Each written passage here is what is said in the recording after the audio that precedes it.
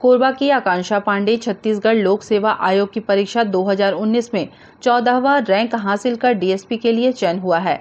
इस खुशी के मौके पर यादव सर द्वारा सर्वमंगला मंदिर स्थित प्रशांति वृद्धाश्रम में बुज़ुर्गों को भोजन कराकर और आवश्यक सामान देकर अपनी खुशी ज़ाहिर की।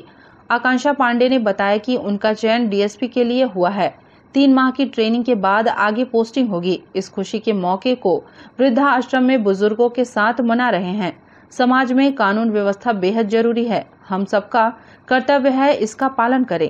छत्तीसगढ़ लोक सेवा आयोग की परीक्षा 2019 में मुझे 14 रैंक हासिल हुआ है और जिससे मेरा चयन डीएसपी के पद पर हुआ है। अभी इसकी ट्रेनिंग होगी दो तीन महीने में और उसके बाद हमें पोस्टिंग मिलेगी आज हम प्रशांति वृद्धाश्रम में आए हैं और यहाँ छोटा सा कार्यक्रम हमने आयोजित सर ने किया है यादव सर ने किया है। हमारे सम्मान में।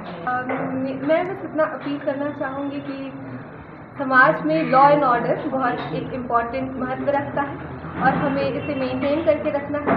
नागरिक होने के नाते हमारी कुछ जिम्मेदारियाँ हैं और उन, उनकी पूर्ति करना ये हमारा कर्तव्य है।